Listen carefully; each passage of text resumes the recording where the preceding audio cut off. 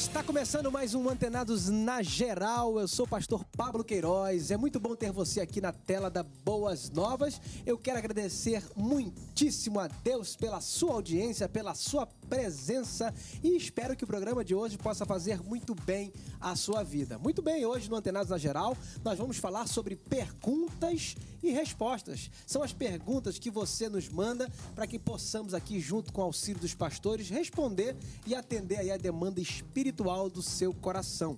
Para participar e me ajudar no debate de hoje, eu convido ele que é músico e teólogo, pastor César Belliene, é músico e teólogo, olha aí, inclusive nos comerciais do Antenados a gente toca muito. Eu trouxe aqui um presente chamado Convergência 2, eu acho que é o segundo lançamento, é? Seja é, bem-vindo, viu, esse César? Aí, esse é o, é o último álbum, é o sexto álbum da caminhada, mas é o mais fresquinho. Acabou, acabei de lançar. Como é que faz para adquirir esse CD? É, esse, esse CD está entrando agora. Eu acabei de fundar um selo chamado Lumine nas plataformas digitais e o CD só comigo mesmo. Então você me liga aí, tem, vai ter meu, tem meu contato. Eu ainda prensei, ele ainda não está nas lojas. De forma digital, sim, a gente consegue nas plataformas é, digitais todas elas mas o CD físico comigo. Me leve para ministrar na sua igreja, você vai. Maravilha, é uma boa dica, viu? Ah, eu admiro muito a música do César. Tá aí, ó, você que quer adquirir, depois procura aí o contato do pastor César, leva para casa aí esse som bem bacana, bem bíblico também e bem agradável. Para me ajudar também aqui no debate de hoje, eu convido ele que é pastor da Igreja Batista Atitude da Zona Sul Leandro Barros, bem-vindo Antenados na Geral. Tudo bom, Pablo? Muito bom estar com vocês. Já ganhei o meu CD, gostei demais. Muito obrigado, tá? Vai ser ótimo esse tempo aqui. Ele também, que é pastor na Igreja Batista do Recreio, do Ministério de Capelania. Pastor Joel Brito, que está aqui sempre conosco. Bem-vindo mais uma vez, Antenados na Geral. E mais uma vez, com prazer, Pablo. Também ganhei o CD do César. Muito bom. Fiz a minha parte, né? Fez a tua parte, né? Foi generoso aí. Então, eu espero que hoje possamos aí esclarecer todas as dúvidas que você nos enviou. Vamos começar aqui pela primeira pergunta de hoje. Vamos lá. O falso profeta sabe que ele é falso profeta? Porque naquele dia irão dizer: Senhor, em teu nome curei, expulsei demônios, em teu nome, agindo e trabalhando para o reino, achando estar no querer de Deus. Pastores, é uma dúvida aí, baseada naquele texto que Jesus cita, dizendo: Nem todos que dizem o Senhor entrarão no reino do céu. Será que o falso profeta sabe que é falso profeta? Eu acho que, que, uma boa parte sabe que é, porque faz de casa pensada. A gente hoje tem encontrado uh, as coisas mais estapafúrdias possíveis e as pessoas se dizem profetas. Agora mesmo eu fui vindo aqui para a emissora, fui abordado por um senhor na rua e ele disse para mim assim: Eis que vos digo. Eis que vos digo, você é um pastor missionário e Deus tem uma grande obra a fazer através da sua vida. E depois aí ele. Aquela frase genérica, né? E, e, aí depois ele veio me abordar mais um pouco. Na verdade, ele queria algum dinheiro para comprar algum alimento que ele faz. Uma bicicleta? Tem um gordinho de bicicleta que passa por aí fazendo então isso. Então é esse mesmo, Paulo, você conhece. Já me entregou já também. Já fez o eixo que vos digo. Né? É, quem passa por ali deve não escapar dele, né? Então, pode, pode, pode ser que sim, né? Pode ser sim, que a pessoa eu... saiba. Agora, existe também os sinceramente errados, aquele cara que ele aprendeu de forma errada as escrituras e está pregando um falso evangelho. Às vezes ele não é falso profeta na intenção do coração, mas ele é falso profeta por equívoco. Isso da interpretação é muito comum hoje, me desculpa até falar de algumas igrejas, mas eu preciso falar. Por quê? Hoje em dia, profetizar significa, para hoje, falar coisas boas. Profetizar significa falar coisas boas. Eu fui numa igreja e nessa igreja o pastor de púlpito pegou o microfone e falou assim: Olha, vira para o seu irmão e profetiza para ele. E todo mundo virou para o irmão e profetizou. Eu falei, eu tomei um susto, porque para mim, profecia é a palavra de Deus liberar, é o sopro de Deus. Então eu não posso profetizar sem ter convicção de que Deus falou comigo. E eu olhei para a irmã do lado, a irmã já estava chorando assim. Eu falei, meu Deus, vou matar essa irmã. Eu falei para ela assim, ó, eu profetizo sobre a sua vida toda sorte de bênçãos espirituais nas regiões celestes. Ela chorava e me abraçava. Eu só não disse para ela que era o texto bíblico, isso já tinha sido profetizado há, há tempo, já estava Não era profecia sua, né? Então, hoje em dia, as pessoas estão estimulando a falsa profecia. As pessoas estão dizendo assim, ah, profetiza sobre a vida do seu irmão. Olha só, isso é perigoso demais. Porque profecia é um dom bíblico e esse dom está associado diretamente com a palavra do Senhor. Se tem um lugar que você toma o nome de Deus em vão, é em profecia. Outra coisa, em 1 Coríntios capítulo 14, fala para julgar o profeta. E no Velho Testamento, quando o profeta errava uma profecia, ele só precisava errar uma. Ele errando uma profecia, eles levaram até a praça e apedrejavam até a morte. Então, eu já conversei com algumas pessoas lá na igreja e falei assim: olha, não vem com história de profecia sem ter convicção de que é de Deus. Porque tem um determinismo, a confissão positiva, que é um grande erro teológico do nosso Isso meio. Né? A pessoa determina sobre a vida das pessoas. Uma coisa é desejar o bem, né, César? Eu quero desejar o bem para a pessoa, mas agora, em nome de Deus, aí, já é outra aí fica mais história. complicado. Eu me lembrei aqui que todas as vezes que existia na história da igreja, toda vez que existia algo, algo desajustado, um profeta se levantava para alinhar o que estava acontecendo. Me, me lembrei da história de Davi com Natan, né? Então, eu, eu acredito que essas pessoas que talvez estejam num processo já do engodo de um evangelho distorcido, eles tenham insights, existem oportunidades acontecendo, Deus de alguma forma vai estar falando com elas, a intervenção da parte de Deus para poder haver um alinhamento. É, e, e eu, eu acredito que não seja só no aspecto da profecia em si, mas do discípulo mesmo, de ser um discípulo de Jesus, um alinhamento com relação à proposta de Jesus, à proposta do Aconteceu uma Evangelho. experiência comigo na semana retrasada, uma irmã lá na igreja estava precisando trabalhar. Ela me pediu uma oração. E depois que eu orei por ela em relação à vida dela profissional, eu no meu coração eu percebi algo, assim, eu percebi uma, tive uma sensação de que alguma coisa boa estava para chegar na vida dela, que uma porta aberta estava se abrindo. Eu falei para ela, mas não falei em nome de Deus. Eu falei, olha, tem algo, estou percebendo no meu espírito aqui, tem algo bom, que uma porta se abrindo para você, mas eu que estou falando para você. E aí o que aconteceu? Aconteceu que na outra semana ela veio me agradecer achando que, Na Vínia, que abriu a porta. Se foi, entendeu? Eu acho que a gente tem que ter o temor de falar em nome de Deus. Na né? Nós, nós, nós temos, isso é mundial, na Vínia, é, igrejas vínias do mundo inteiro. Nós, nós falamos é, que temos uma impressão. Impressão, hum, É uma- eu tenho uma impressão a teu respeito. Pode ser que seja da minha alma, porque eu sou um ser imperfeito. Eu fico sempre trabalhando na perspectiva de dois milagres, né? O primeiro milagre é um ser imperfeito abordando coisas perfeitas. Esse é o primeiro milagre. O segundo milagre é um ser humano imperfeito compreendendo coisas perfeitas ditas por mim, que sou um ser humano imperfeito. Então, transitando na perspectiva desses dois milagres, eu coloco a minha impressão. Foi, de repente, o que aconteceu contigo. Tive uma impressão muito forte. Aí a gente pergunta e joga para a pessoa: "Cê- faz sentido o que eu estou te falando? Ah, faz. Ela julgar a profecia. É, e eu tenho a história do Derek, que é o pastor da, da Vineyard da África do Sul. Ele disse que ele sempre teve vontade de falar, sempre teve vontade de, de proferir algo que fosse bênção para as pessoas. E ele, uma vez, ele, ele falou que ele tinha dificuldade de dizer, e aí um dia ele olhou para um senhor que estava na igreja, ele chegou lá para ele e falou assim: Cara, estou com uma impressão de que o senhor está com um problema no coração, um problema cardíaco. E aí ele falou assim: Não, não tenho não. Aí ele falou que ele ficou muito triste, arrasado. E aí ele falou que quando ele ficou no canto, ficou, cara, esse negócio não é para mim mesmo e tal. Aí ele falou que depois do culto a mulher, esposa do, do, do senhor, chamou ele no canto e falou assim: ele tem problema no coração, ele tem um sopro no coração e ele nega. Ele nega para si mesmo. E- aí ele falou que ele não sabia, era um paradoxo. Ele não sabia se ele ficava feliz ou se ele ficava triste, porque o cara tinha um sopro no coração, era uma doença grave. E, e ele, ao mesmo tempo, estava feliz porque a, a relação com Deus tinha sido, tinha É sido importante, eficaz. assim, hein, Joel? Eu acho que eu posso dizer, Deus manda te dizer quando eu pego as escrituras, né? Deus manda te dizer que Jesus é o caminho, a verdade e a vida. Deus manda te dizer, ir de pregar o evangelho. Aí eu posso falar porque está de acordo com as escrituras. Agora, Fora isso, quando é uma impressão, tem que ter muito, muito temor. É, pra, inclusive pra você colocar tem, palavra na boca de Deus. Quando você fala de falsos profetas, e eu acho que é isso que a gente está abordando um tanto aqui, é. eu me lembro de um filme antigo que vocês devem ter visto também, que em português recebeu o, o, um título até com um cacófato que era Fé Demais.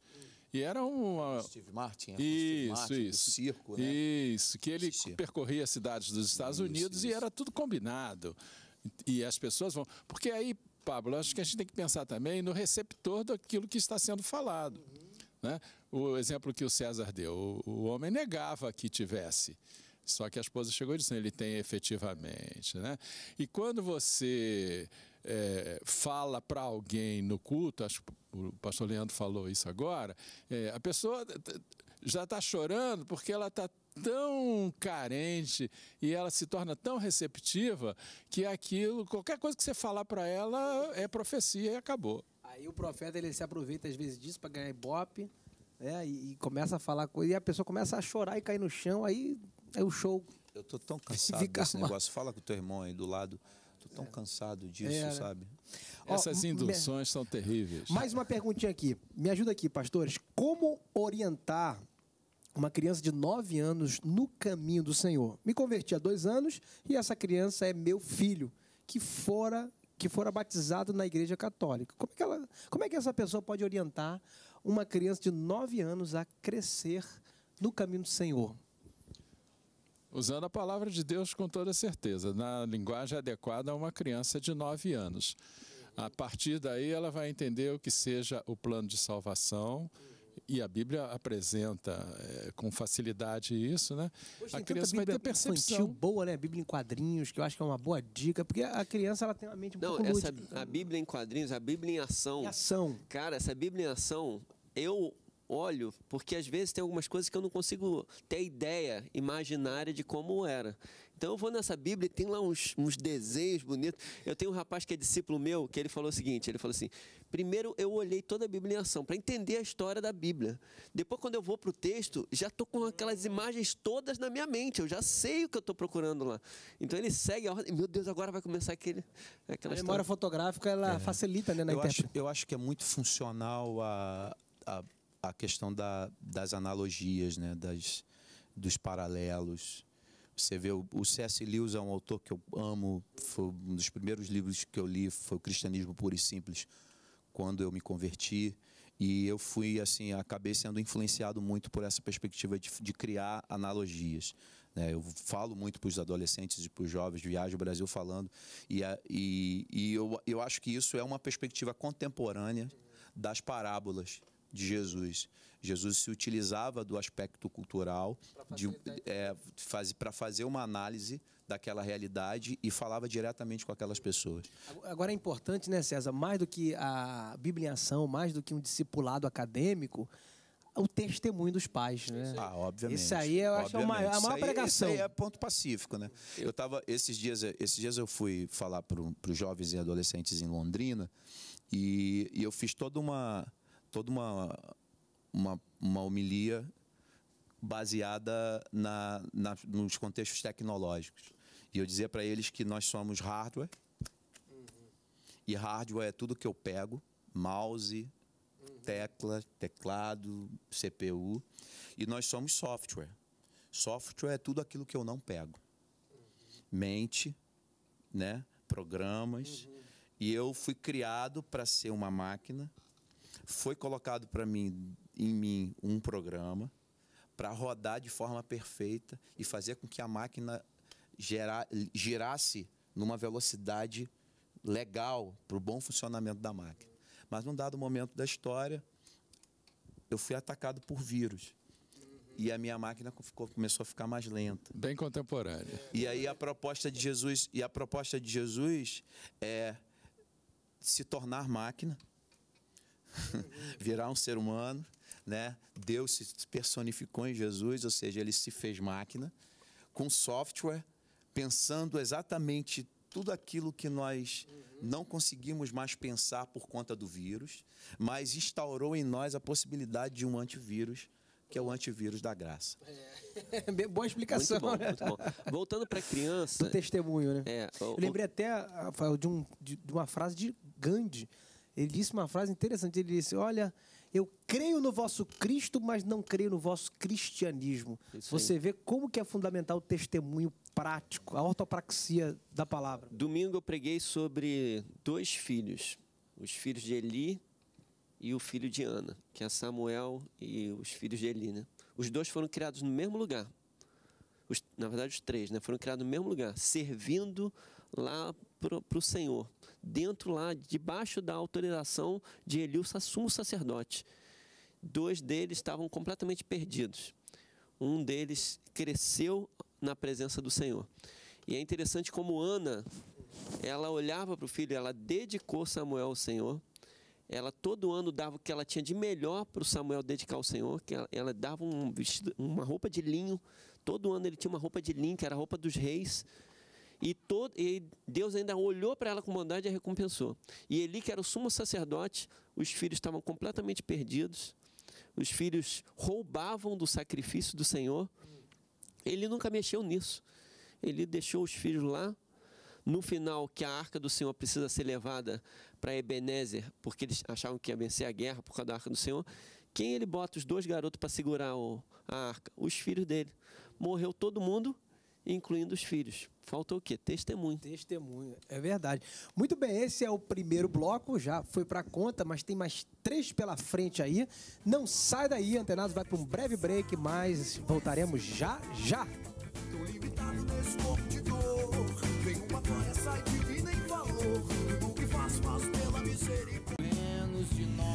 nós. Antenasa Geral está de volta para o segundo bloco ao som de César Belliene. Sempre toca aqui e tá aí hoje, ele está presente com a gente ao vivo aí participando do programa. Uma boa dica aí, um som muito bacana. Vamos lá, pastores, me ajuda aqui a mais uma pergunta que eu recebi.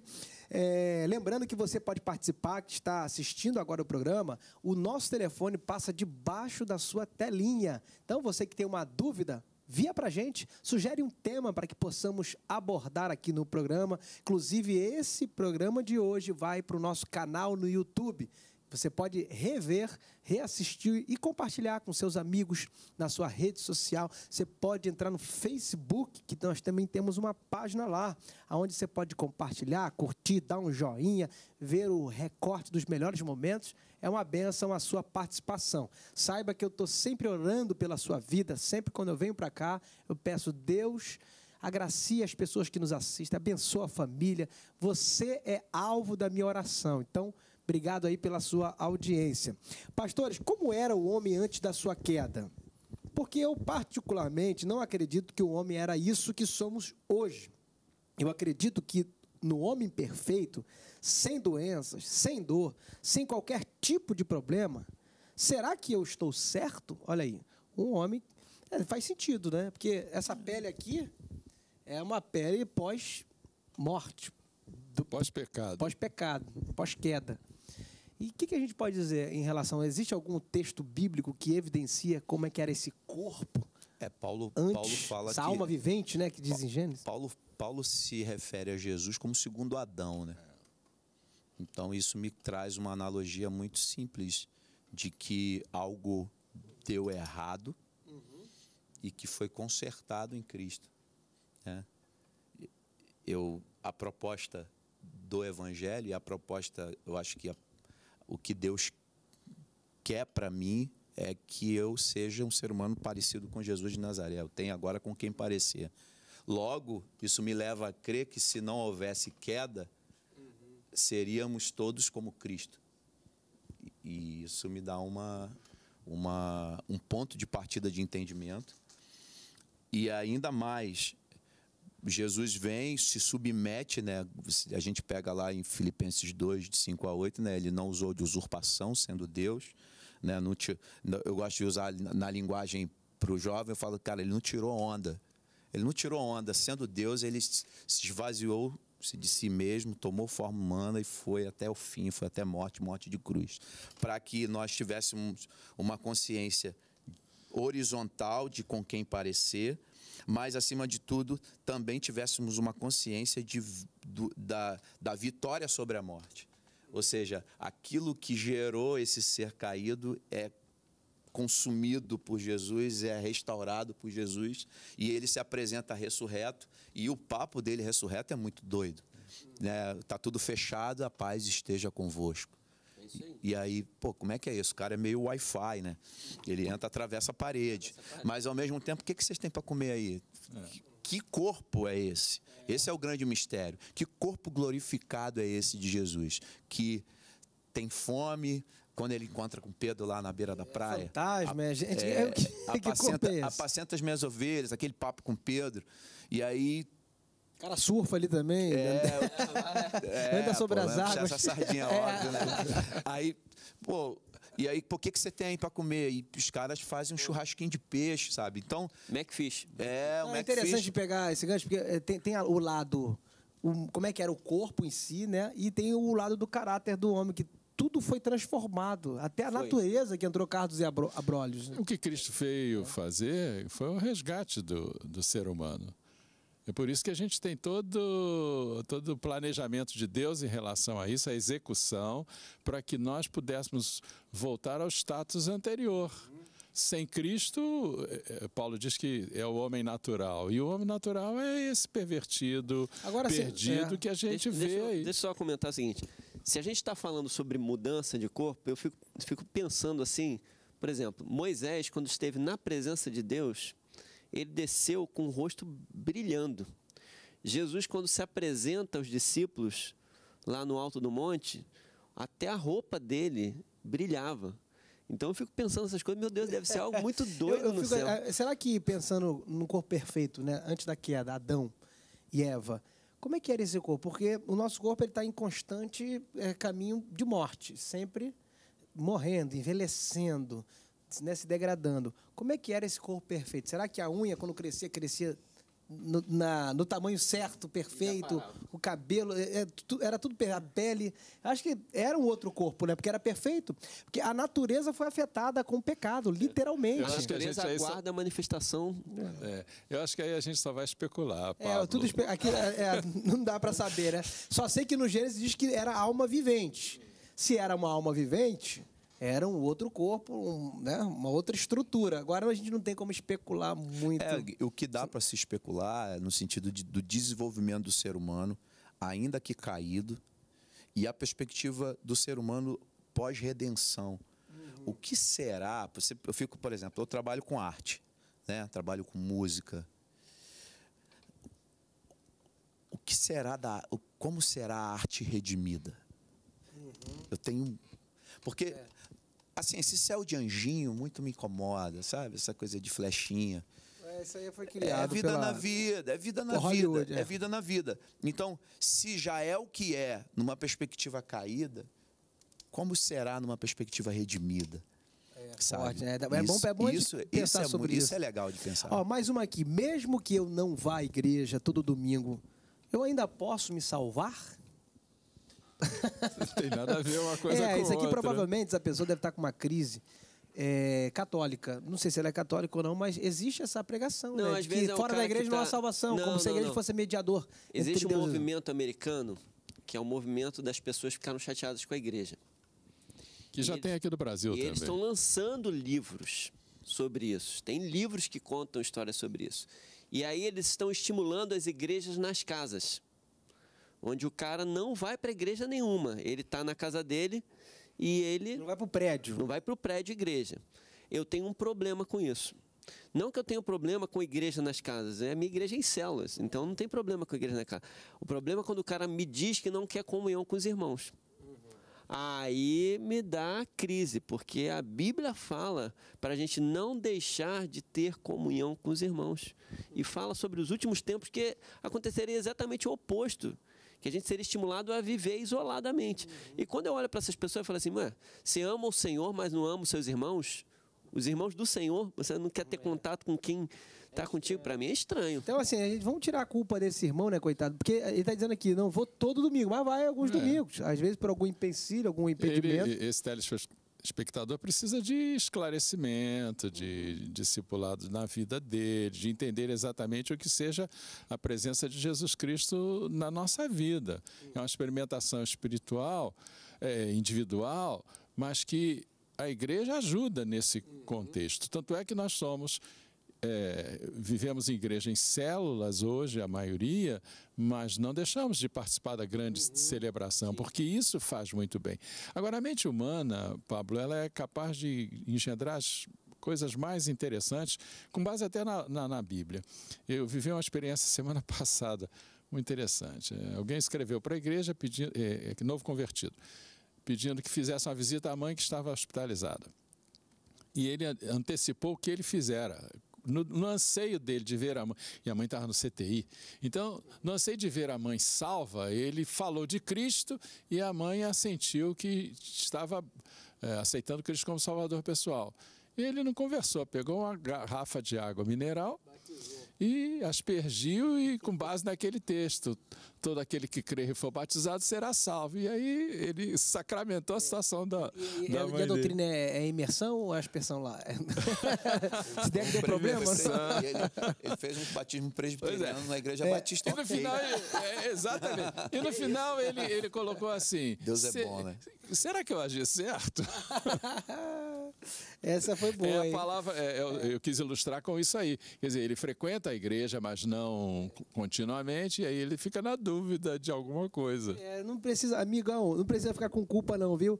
Porque já, já a predisposição do coração dele já mostra que ele não é um desigrejado, revoltado com a igreja. É, que, eu acho que, ele precisa, é, acho que ele precisa de um esclarecimento do que é a igreja. É isso aí. Né? Como esse que eu ilustrei também, precisa é, de um esclarecimento a igreja, que seja o A igreja, assim, para ele mesmo, essa mensagem, que ele lê Mateus 16, Mateus 16, do verso 13 em diante, Jesus ele esmiuça ali o que, que é a igreja. Quando Pedro fala, a igreja é a afirmação do Cristo. Quando eu afirmo, tu és o Cristo, filho do Deus vivo, acontece a igreja, porque Jesus me devolve dizendo, tu és Pedro, tu és César, tu és Pablo, tu és, né? Ele, sobre esta pedra eu vou edificar a minha igreja. Ou seja, toda vez que alguém disser que eu sou o Senhor, que eu sou o Messias, que sobre eu sou. esta pedra, né? Sobre, sobre esta pedra. Isso, o Cristo, a igreja acontece. Eu lembrei de uma frase do, dos puritanos que ele dizia o seguinte: né? é, Nada tragam em minhas mãos, somente em tua cruz eu me agarro. Que a suficiência da salvação do homem está em Cristo. Sim. Então, a igreja é importante pela comunhão, é importante pelo crescimento, é, congregar é bíblico é, é, fundamental a edificação que há no meio da igreja, mas quem te salva é Jesus, é, o, é Cristo, é, é, ele é o Evangelho. O Evangelho é Jesus. A igreja, a, o, o, ajuntamento, ele é, ele é, o, ele é uma, uma consequência lógica de uma caminhada. Você, é onde tudo converge, é onde eu vou no meu dia a dia, no meu culto, que é a vida, meu culto não é no domingo. Né? Você, ah, pode, eu posso estar mudando aqui a nomenclatura? Não, porque eu chamo de culto. Não, ok, eu estou só querendo dizer o seguinte: o culto para mim é a vida. A reunião de domingo é onde converge uma vida diária de comunhão com Deus. E aí no domingo eu posso compartilhar coisas muito legais que eu vivi no culto da vida, ou eu posso estar quebrado, porque no culto da vida eu também passei por contraditório. E aí então, o outro é lá cuida de você também. É lá eu vou ser eu vou eu vou orar por mim, eu vou orar pelo outro, sabe? Exatamente. É onde a dinâmica, é onde a dinâmica da comunhão ela é funcional. O reino de Deus é manifestado ali, onde a, a, a troca de frutos, né? Muito bem, mais uma aqui, como ajudar a Bíblia, a no, como ajustar a Bíblia à nossa realidade, se em muitos momentos vemos aqui a mesma sofre influência cultural. Essas influências, olha só que interessante essa pergunta. Ao longo da história, a Bíblia foi criada nos seus contextos né, culturais. E como que a gente pega para. Como é que a gente faz para contextualizar a Bíblia no nosso contexto cultural? Por exemplo, Coríntios fala, o apóstolo Paulo ali, orientando que as mulheres coloquem o véu. Mas a gente observa que aquele véu ali é até mais questões culturais do que espirituais. Né? Como é que a gente faz para contextualizar o véu nos dias de hoje? Como é que a gente poderia? Porque naquela época as mulheres decentes colocavam véu e as mulheres é, da vida prostitutas não utilizavam. Parece que era em Corinto, né? Porque era uma região portuária onde tinha vários povos. Então, para diferenciar a mulher casada, a mulher honesta, o véu era uma, uma, uma parte da cultura que diferenciava a mulher honesta. Então, como é que a gente faz isso nos dias de hoje? Contextualizar para a nossa cultura. A eu Bíblia? não vou começar falando sobre o véu, não. Eu vou começar falando sobre a questão da contextualização mesma, e aí vou me reportar ao que o César disse ainda há pouco. Quando ele vai falar para, falar para jovens e adolescentes, uhum. e ele deu um exemplo aqui muito bom, por sinal, ele vai contextualizar a verdade da palavra a uma linguagem que estes adolescentes e jovens estão acostumados a ver lá fora, uhum. sem fugir às verdades da, da palavra de Deus. É, na linha histórica da, da igreja, a contextualização sempre aconteceu. Talvez no nosso tempo isso precisa ser mais arrojado, né? Para você alcançar realmente as pessoas usando de todos os recursos que hoje nós temos, que na época não, lá atrás não existiam. Né? Hoje você tem uma mídia aí que. Hoje tá, a gente está potencializado por, por Google, uma série de situações que é. você pode chegar e buscar. Mas naquela época você via, você vê Paulo entrando no Areópago, no panteão grego e falou, vim falar do Deus desconhecido, porque ele já tinha uma perspectiva do, da ele história. Ele pesquisou também, né? né de é. Eupimenides, que era o poeta deles, e ele fala a respeito. É. Então, é, existe a necessidade de termos um embasamento para essa perspectiva contemporânea, sabe? Eu acho Você que... tem um texto de Paulo mesmo que diz o seguinte: fiz-me judeu para com judeus, fiz-me gentil para com gentios, e ele vai dizendo uma série de situações que você percebe a intenção dele de estar falando alguma coisa que seja inteligível para aquelas é pessoas. Tem questões que é sociológica, por exemplo, a roupa. A roupa também ela entra muito na questão sociológica. Eu acho que essa coisa de, de, de véu, se eu fosse trazer assim uma, uma perspectiva pessoal que eu pensei agora, nunca pensei nisso antes. Eu acho que assim seria o equivalente a um decote, a um, a um comprimento, isso, um comprimento de uma saia. Para diferenciar. Numa perspectiva de, de, de, de, assim, de um mínimo por exemplo, uma mulher de Deus. Não cabe uma mulher de Deus usar uma roupa né, muito é curta. O véu, é o véu, é o véu, é o véu de, hoje. Seria o oriental, porque é. a Bíblia, né, a pergunta do irmão é, é a, é a Bíblia tem abismos. E um dos abismos é, é o abismo cultural. Nós estamos lendo um texto oriental no Ocidente. A perspectiva ocidental ela precisa ser levada em conta. Assim como uma análise profunda da perspectiva Eu fui numa oriental. igreja que uma, uma irmã lá, missionária, foi pregar, ela foi com uma roupa, uma colada, ela já tinha o corpo grande, e aí colada, aí parecia. Eu falei que eu estava com minha esposa, Dani, os pastores não estão conseguindo prestar atenção na palavra, a roupa da mulher está chamando atenção mais do que a própria palavra. Porque, então, a, a decência faz parte e da tá vida difícil, do cristão. Hein? Pessoal, tá difícil Ainda mais no país tropical hoje. que a gente vive. Você tem também tem que uma questão cultural mesma. Eu, eu, lembro, vocês são mais novos, eh, talvez não tenham alcançado esse tempo, mas eu, quando adolescente e até jovem, ia para a igreja sempre de terno. Por quê? Porque os americanos vieram para o Brasil trazendo o evangelho a partir da Assembleia de Deus, da Igreja Batista principalmente. É, com a perspectiva americana. Lá é frio, é isso, é aquilo, e usavam terno. E aqui também. E muito foi para nos diferenciar. Então, nós éramos conhecidos como os Bíblias, porque portávamos a Bíblia e porque usávamos o terno. Você imagina, hoje dificilmente um adolescente vai para a igreja de terno, né? O Pablo vem aqui para o programa por uma questão de... É, questão de bom senso. Mas, ainda, mas ainda é uma mescla. Para poder, poder ganhar os dois lados, né? O conservador e, e alcançar também. Porque na praia, por exemplo, na praia eu não vou de terno evangelizar ninguém de não terno. Vai, eu não, não acredito, vou, não vou de não terno. acredito. Agora, se eu for, que nem um pastor amigo meu, ele estava explicando um pouquinho sobre isso. Ele disse o seguinte, olha, na, na comunidade carente, ele é interessante o terno, porque às vezes a pessoa está lá trabalhando o dia inteiro, de repente com um pedreiro na obra. E aí, na igreja. É uma valorização. É uma valorização, o cara é, se sente honrado. É. é. interessante essa questão sociológica, é, né? É, Não é, é espiritual, é questão sociológica. Então a gente usa por questão. Pô, o cara eterno passa uma, uma aparência de seriedade, né? Você vai para um fórum, você, é, você não pode chegar de bermuda lá. Então é questão mesmo sociológica. Acho que temos que até considerar, Sim. considerar, respeitar. Então, olha aí, estourei três minutos. Hoje, é, perguntas e respostas assim, vai, vai embora, né? Você que está assistindo, bebe uma água, pega um biscoitinho, mas volta, não sai não, tá? Tem dois blocos aí muito bom para você. Tenados volta já já.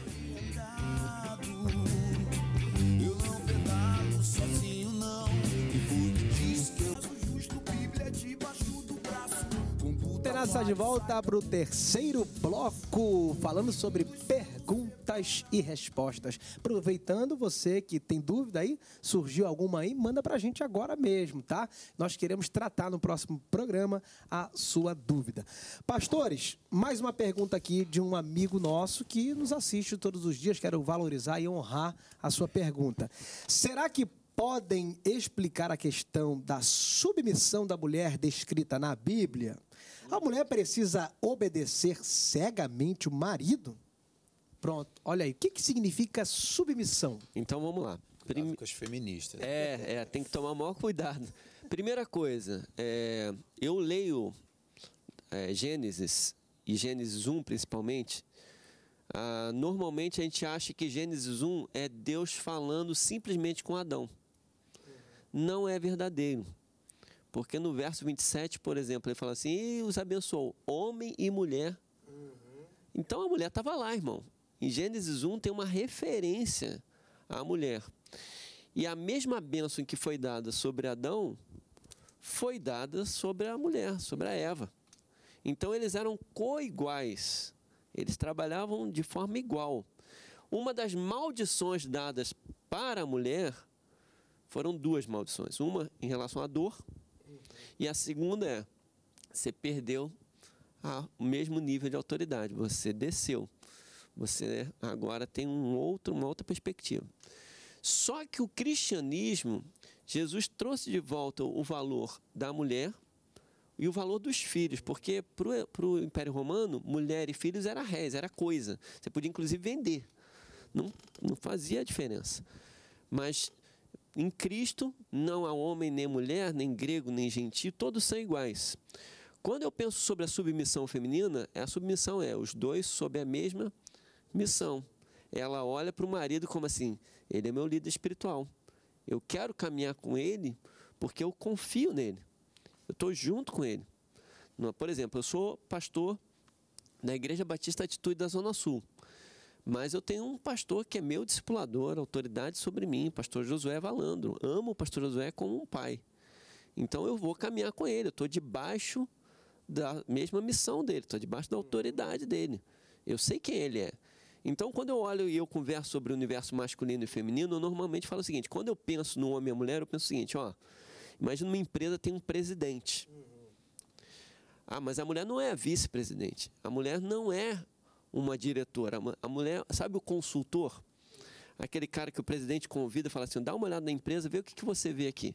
O consultor, olha, eu mexeria aqui, eu faria assim, porque o consultor normalmente tem uma visão mais holística.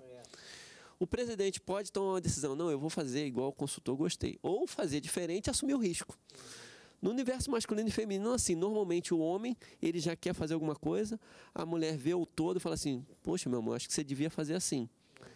Normalmente eu estou junto com a minha mulher. Minha mulher dá uma sugestão, eu já avalio 10 vezes, porque eu também vou ouvir se eu tomar a decisão errada, né?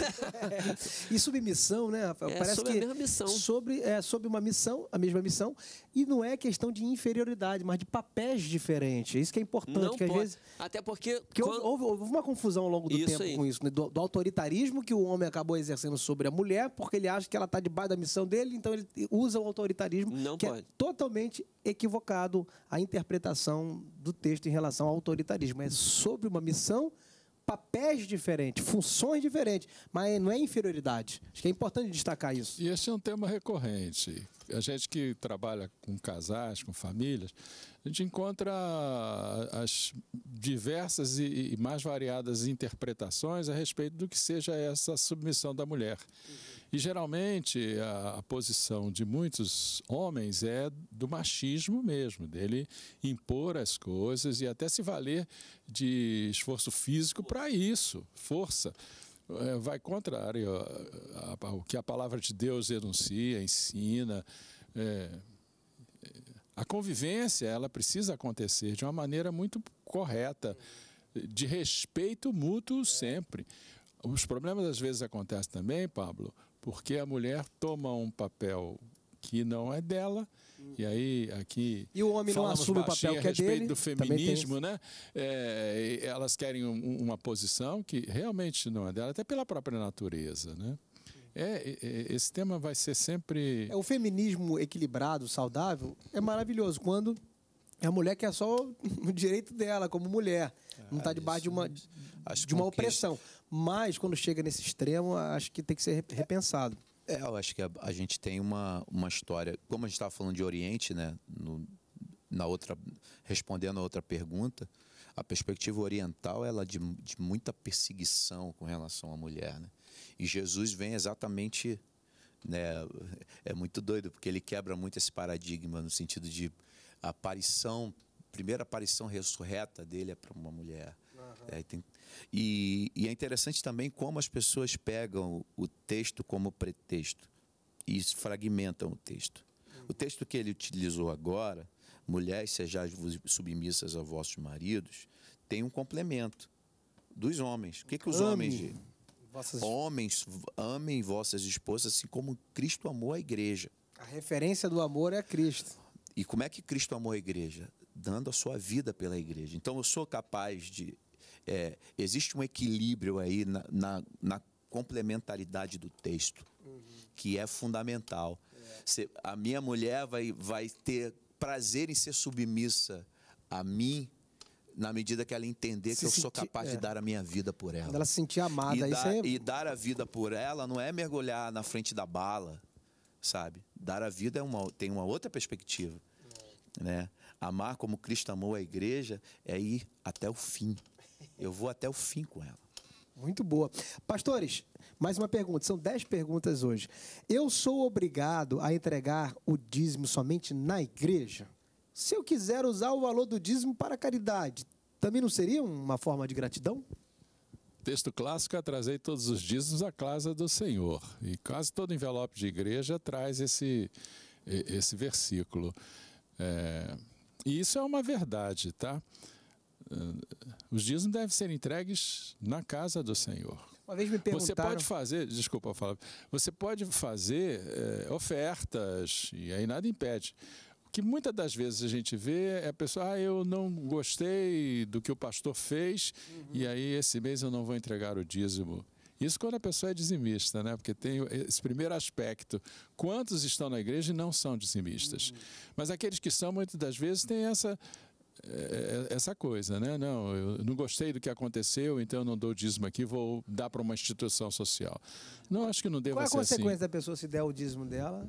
Irmão, uma obra de caridade. Não, o que acontece é o seguinte: o dízimo tem a ver com o contexto da igreja. O dízimo nem é seu. O dízimo é uma devolução que você usa a igreja como instituição e você abençoa de várias maneiras a igreja. Se você olhar o dízimo do Velho Testamento, uma hora é festa, outra hora é para servir ao templo, outra hora é para quem está como levita lá. Existiam várias funções para o dízimo. Os, os judeus sabiam disso. A igreja do Novo Testamento sabia disso. Entregava os dízimos. Jesus fala sobre o dízimo. Jesus fala aos sacerdotes: vocês fazem muito bem de dar o dízimo do cominho, vocês estão fazendo certo. Mas o Novo Testamento fala sobre ofertas. Primeiro capítulo 9 vai falar sobre ofertas voluntárias. Ofertas que não têm a ver nem com a cidade. Ofertas que são dadas para ajudar a cidade de Jerusalém, que está um caos. Então, as igrejas locais que já tinham a sua autonomia, já cuidavam das suas necessidades, já tinham o seu dízimo, elas, as pessoas decidiram voluntariamente abençoar as igrejas de outros locais. Então, por exemplo, toda vez que eu for investir em missões, eu paro de dar o dízimo para investir em missões? Não. Toda vez que eu quero fazer ação social, eu paro de dar o dízimo para fazer ação. Irmão, no Velho Testamento eu até posso entender que 90% do seu salário era praticamente seu e 10% era de Deus. Mas no Novo Testamento, todas as referências que você tem, Deus chama você ou de administrador ou de mordomo. Então, o administrador e mordomo tem direito a nada. Acabou. Não existe 90% seu, 100% é de Deus. 10% você entrega na casa do Senhor como dízimo, e os 90% Deus pode mexer nele. Deus pode encontrar com uma pessoa e falar assim: ajuda esse rapaz aí, compra um alimento para ele. Não, eu vou tirar do meu dízimo para comprar uma comida para ele. Você não faz isso, não. Você não faz isso, não. Então é importante a gente orientar a pessoa a levar na comunidade, até por questão de bom senso também. Ali tem custos, ali tem gastos, ali tem metas, é, ali tem sustentável, tem, né? a é, sustentabilidade. Tem objetivo. Do, então, é o mínimo do... ali, uma, essa oferta regular que, que O que falta dízimo. também, né? O que falta para o contexto eclesiástico é transparência. As pessoas, tiram, as pessoas tiram esse tipo de isso conclusão. Aí é outro é, isso é um programa também, né? Que às vezes o cara não está dando, né? Nem porque ele, não é, ele tá né? inseguro. Para onde, pra onde vai, vai? Como vai? E aí eu entro numa de fazer um, um caminho próprio, filantrópico, altruísta. Eu quero dar, mas não confio tá no pastor. Muito próximo, Está muito próximo do que seria o processo da igreja no seu cerne. Mas como não está tá tudo claro, eu na obscuridão aí eu opto pela é. Eu, minha sugestão é procura outra igreja. Procura uma igreja Você séria. Está confiante na, com confiança na liderança? Então, essa é a resposta. Vamos para um break, tem mais um bloco. Antenados volta já já. Muito antes de me ouvir, o teu querer me sustenta. Deixa a poeira sentar, no fundo ela cai. Voltamos para o quarto e último bloco, né? Tem três perguntas aqui para responder no ar. Vamos lá, pastores. Existe predestinação na Bíblia? Se existe, ela não seria injusta para aqueles que não foram predestinados por Deus? E como fica o livre-arbítrio? Eita, essa aqui. Mas não trouxeram nenhum presbiteriano. É, não tem, né? Predestinação, ela está escrito na Bíblia, mas que tipo de predestinação é essa, né? Porque essa, essa predestinação é, que Deus determina que o cara vá para o inferno, como é, que ele, como é que a gente pode responder essa pergunta? O cara está decretado para ser espetinho do cão, vai para o inferno, para o lago de chofre. Mas aí, ou... o, Pablo, a questão é da, da, da nossa posição teológica uhum. a respeito disso. Né? É, é livre-arbítrio. Eu não... tem livre-arbítrio e tem livre-agência também. São duas coisas, né? O livre-arbítrio, o cara é, está livre no seu arbítrio, não, não, há corrupção. E a livre agência, o cara faz o que quer. É, eu acho que ele tem são essas. Opostos, são, né? É, tipo, o cara pode fazer o que quiser, mas hum. ele não tem um arbítrio, por exemplo. O meu arbítrio está corrompido pelo pecado. Então, tudo que eu faço tem o desejo ainda do, é, não, do mal. Não, e aí a predestinação. Aí vem a predestinação. Como é que a gente. é um assunto gente, de. Para outro programa. Pois viu? é, você quer botar esse assunto numa pergunta. Logo você realmente queria responder é, três perguntas. É. É. Como é que é? Uma, uma forma mais simples para a gente assim, responder. Eu, eu diria... Deus é injusto em predestinar o homem para o inferno? Então, deixa, deixa eu tentar falar sobre. A predestinação tem escrito na Bíblia? Tem. A, a o livre-arbítrio tem escrito na Bíblia? Também tem. O que eu creio é muito mais na presciência. Porque se você vê, se você, por exemplo, vai assistir um filme e alguém te disse o final do filme, o fato de você saber qual é o final do filme não diz que você decidiu o final do filme. Você já só sabia o final do filme. Então, quando a Bíblia fala sobre, ah, esses estão destinados, você tá tem que lembrar que quem está falando sobre isso é o Deus que é onisciente. Onisciente, ele não só vê todo, só como ele também vê todos os tempos ao mesmo tempo. Tanto que a Bíblia separa os tempos em dois, dois conceitos gregos. O cronos, que é o tempo cronológico, que segue uma ordem lógica, e o kairos, onde o tempo não faz sentido, onde um dia é como mil anos. É ausência de tempo. É ausência de tempo. Deus trabalha com presente, passado e futuro ao mesmo tempo. E a predestinação a gente só vai saber lá do outro lado. Quem foi, eu vou saber que foi. Ah, você não, foi, porque está aqui e foi. O, o, importante do predestinado é que é engraçado que só conheço os predestinados que eles estão predestinados aí para o céu. Eu não conheço nenhum cara que fala assim, não. não tem... Apocalipse. não é, por, por exemplo, Apocalipse. A palavra Apocalipse quer dizer revelação o que, que nos foi revelado? Cristo e a sua glória. Então, o meu apocalipse é esse. Teve um, um, né? um rapaz é, trouxe uma explicação aqui interessante. Ele falou o seguinte: ó, se você estiver. Jesus é o barco para atravessar para o outro lado. Se você estiver dentro desse barco que é Jesus, você está predestinado a ir para lá. Não, eu creio na predestinação em Cristo, você aceita todos Cristo. estão predestinados, né? Fora de Cristo, ninguém está predestinado. Então, em Cristo que é o, o fator principal agora. Durante a maioria a... dos textos sobre predestinação, ele tem uma ação seguinte. Uhum. Você foi predestinado para algo. Ó, a é. predestinação é o para o que você vai fazer e não sobre a sua é. decisão. Mas, ó, vamos lá. Passei minha adolescência toda na igreja e me casei cedo. Aos 23 anos tive uma filha, hoje aos 29 anos sou separada e tenho uma nova namorada. Gostaria de saber se a Bíblia me autoriza a casar de novo. Aí tem três minutos. Sim ou não? Ela pode casar de novo? Ele pode casar de novo? E aí, o que, que, vocês acham? É, a pergunta não esclarece exatamente. Está divorciado é. pelas é. leis do país, isso é, natu seria natural. É, pela lei do país. Nenhum problema. Pronto, então pode casar de novo. É. A questão aí, a gente polemiza um pouquinho aí para dizer assim: o primeiro casamento foi no Senhor, é outro hum, aí é tema outro, também. Como é que foi esse é divórcio? Agora. Meu Deus do céu. É um outro problema. Mas assim, se pode, pode. Ninguém vai te proibir a casar claro, de novo. Lógico, lógico. Vamos lá. Poderia, poderia me explicar melhor sobre a teofania. Dois minutos. Teofania. Meu Deus, adoro teofania.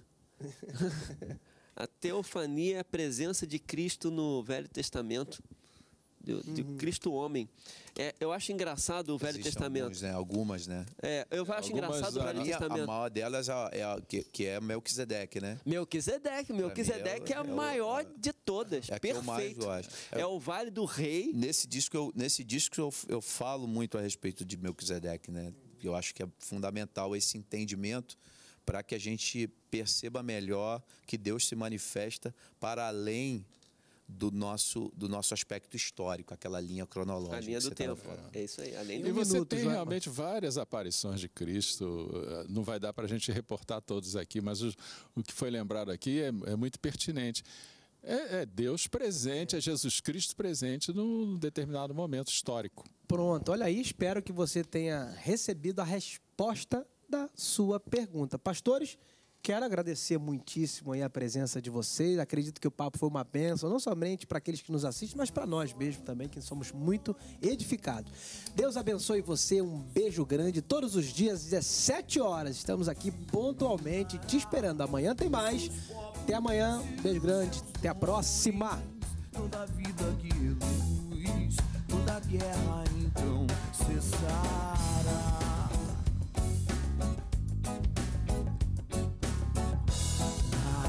Revolução Mundial Oração World Vision Na visão.